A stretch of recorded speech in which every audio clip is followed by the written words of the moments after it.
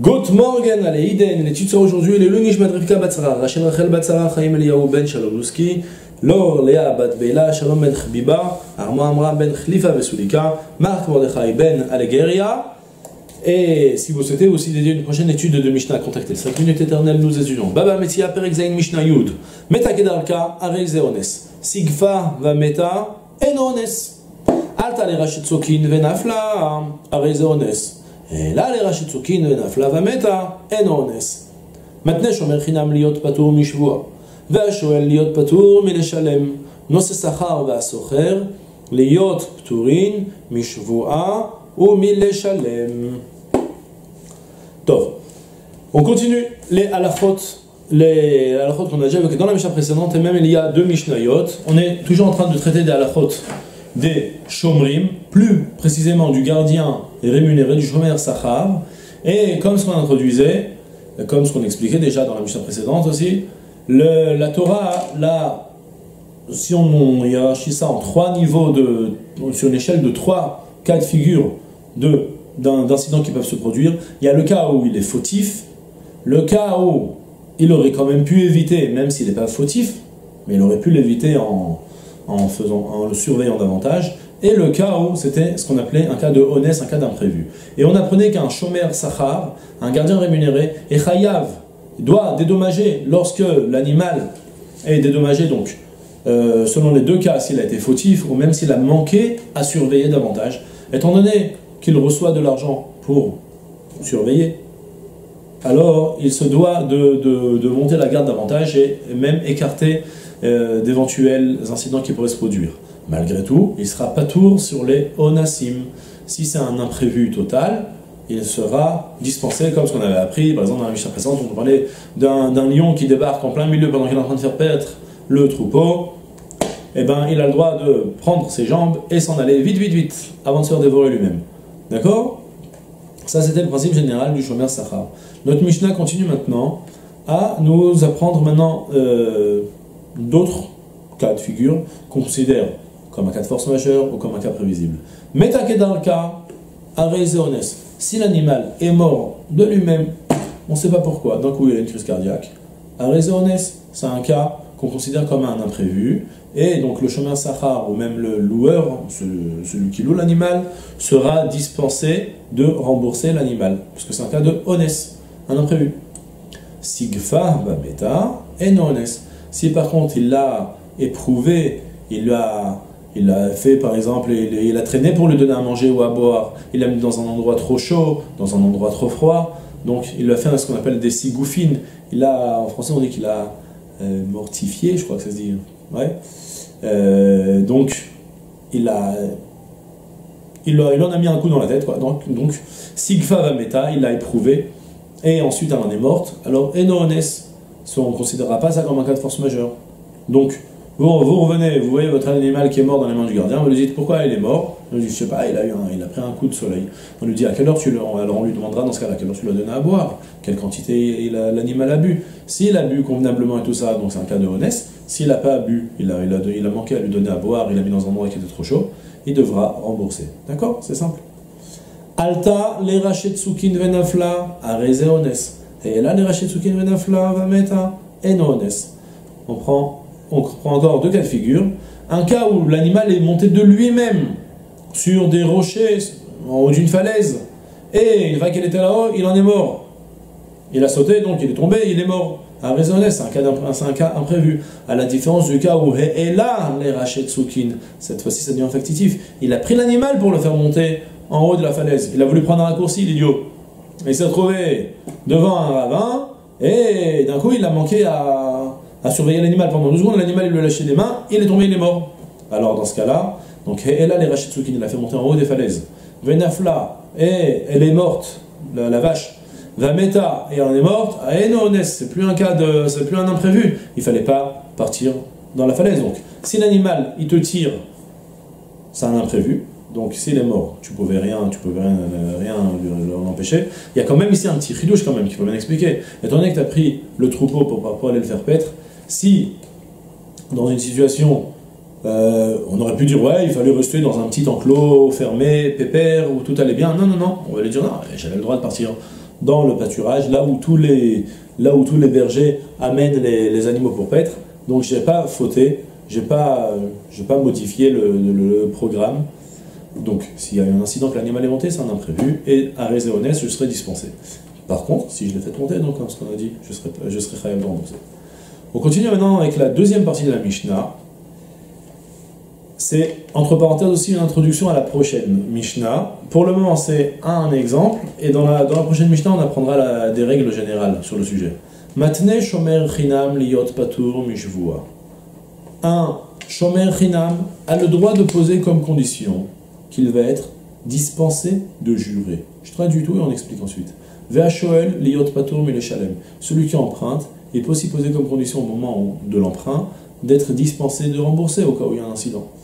Nosé sachar ou bien encore le gardien rémunéré ou même celui qui loue l'animal, il peut aussi poser comme condition liot pturin mishvua ou milachalem d'être dispensé selon le cas soit d'avoir à jurer, soit d'avoir à rembourser. De quoi on parle? C'est très simple. Ça m'arrive très fréquemment de poser exactement cette condition. C'est fréquent par exemple dans les mikveh le vendredi après-midi, il y a beaucoup de, malheureusement, de vols. Il y a des gens un petit peu bizarres qui rôdent et qui mettent les mains dans les poches et volent les portefeuilles. Donc de manière fixe, celui qui descend, on est tous au Beth le vendredi, celui qui va aller au mikveh, il trouve quelqu'un qui est resté assis pendant la prochaine demi-heure et il lui dit Tu veux garder mon portefeuille?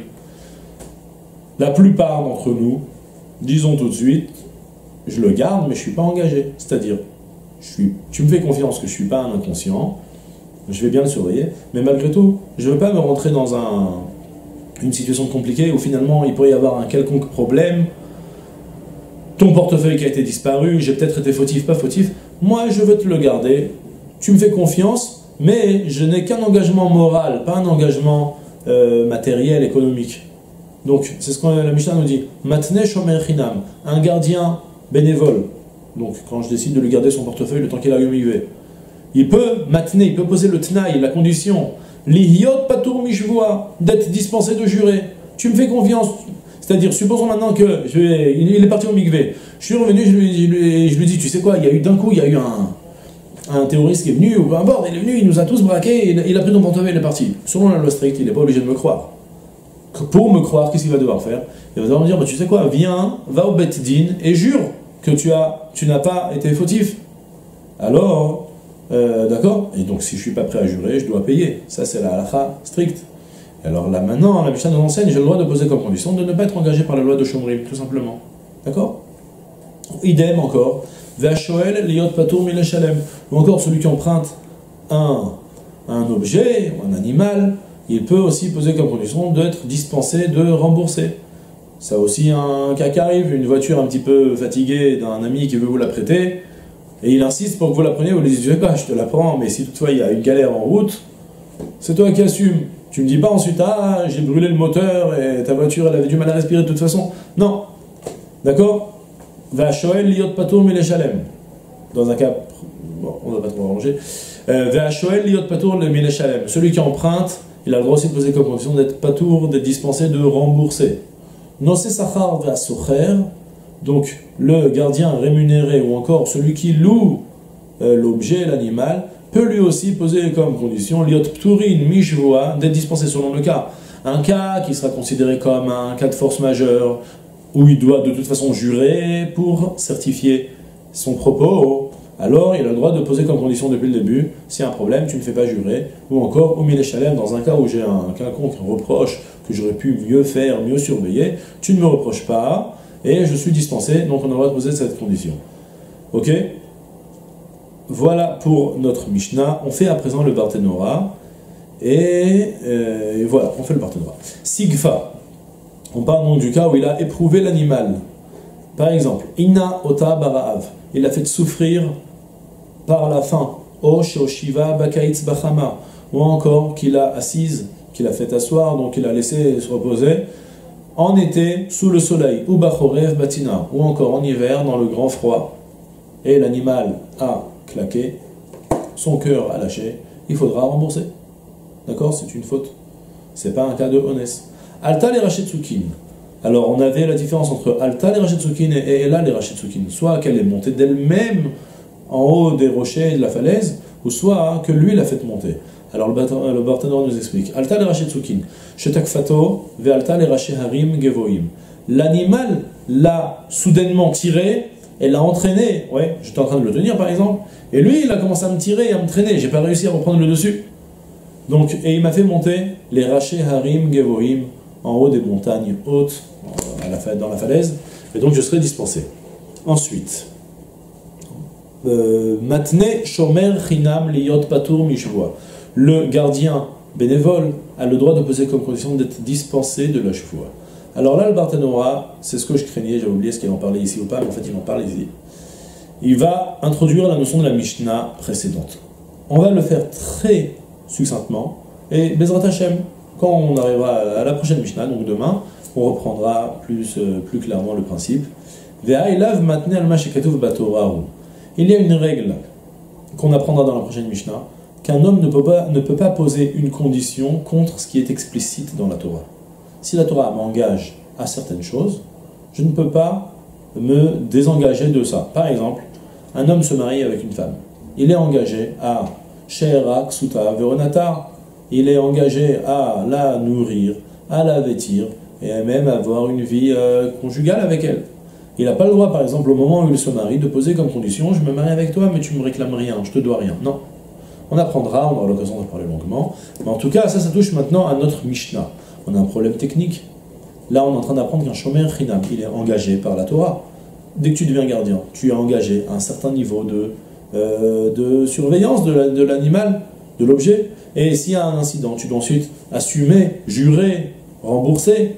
Comment c'est possible que tu peux poser une condition contre ce qui est explicite dans la Torah? Ne vous inquiétez pas, je dis. On reprendra ça demain, mais quand même, comme ça on s'habitue déjà un petit peu à la notion.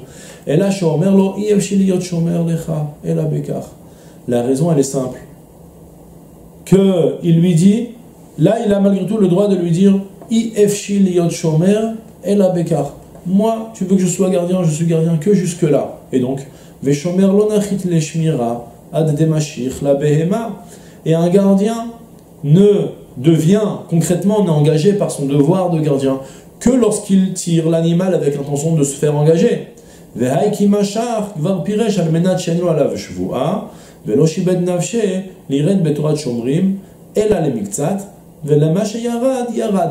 Je l'explique à l'oral, c'est pas, pas très compliqué. De manière générale, comme ce que je vous ai dit, je ne peux pas faire une action. Si je fais une action, je je m'entre dans une situation où la Torah me dit, quand tu es dans cette situation, tu dois faire ça, ça, ça et ça. Alors, on, apprendra qu'il y a au moins un avis, en tout cas, qui pense qu'on ne peut pas poser une condition et se désengager de ce que la Torah nous a engagé. Tu peux ne pas rentrer dans la situation, mais si tu rentres dans la situation, tu dois faire ce que tu, es engagé. Tu veux te marier, tu es engagé à euh, respecter ta femme selon les trois conditions qu'on a prises, Shirak, Suta ou Nata. C'est explicite dans la Torah, tu ne peux pas te désengager de, cela. Cependant, pour le gardien spécialement, la Torah me dit, que la, la me dit, j'ai le droit malgré tout, selon tous les avis, de me désengager de mon devoir. Parce que je peux simplement lui dire, tu sais quoi, considère que je ne suis pas un vrai gardien, l'objet il reste le tien. Comment est-ce que je fais pour être engagé? Il faut que je tire l'animal avec l'intention de devenir le gardien. Alors tu sais quoi? Je ne vais pas devenir le gardien je peux maintenant ne pas tirer l'animal, ne pas devenir le gardien, mais malgré tout, je te dis oralement, fais-moi confiance, je vais le surveiller. C'est quelque chose qu'on peut faire, c'est-à-dire je ne me suis pas confronté, j'ai pas, j'ai pas, euh, je ne me, suis pas exclu de ce que la Torah m'a dit. La Torah ne m'a pas imposé d'être un gardien. Donc je ne suis pas un gardien. Je suis pas un gardien, et malgré tout, je vais surveiller l'animal. Le principe, c'est exactement le même. C'est exactement comme ça que ça fonctionne. Cette fois-ci, c'est pas que je vais devenir un gardien avec des lois différentes. Je vais tout simplement pas devenir un gardien ou bien lorsque je vais être un shoel, quelqu'un qui emprunte l'objet, je vais utiliser l'objet, mais malgré tout, sans, être, sans avoir pris le statut du, du shoel, de l'emprunteur. C'est quelque chose qu'on peut faire. Et c'est sur ce principe que cette, cette est fondée. on fait le partenariat dans les mots, donc sur la deuxième partie.